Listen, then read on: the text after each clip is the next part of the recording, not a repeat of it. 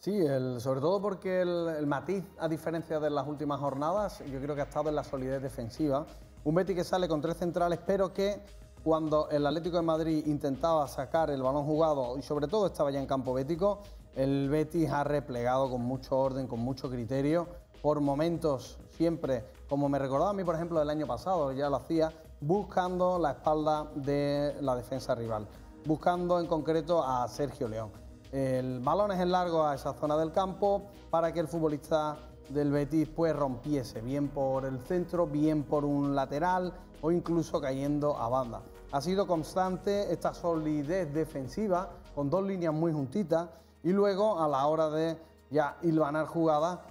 se juntaban los tres futbolistas por el centro con un Barragán que tiraba de largo recorrido y Francis que le acabamos de escuchar con Nacho eh, haciendo exactamente lo mismo.